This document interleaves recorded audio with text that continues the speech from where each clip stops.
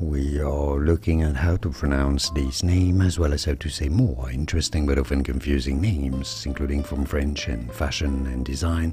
So make sure to stay tuned to the channel if you enjoy learning about those. For reference, in French it is said as Lhuillier, Lhuillier, Lhuillier. Now in English, because it's very difficult to pronounce it, for English speakers it is said as Lhuillier, Lhuillier from French Lhuillier. And now you know. More videos here on how to pronounce more interesting words and names that many get wrong. You want any more after watching this? Like and subscribe if you found this video useful. Thanks for your support and thanks for watching.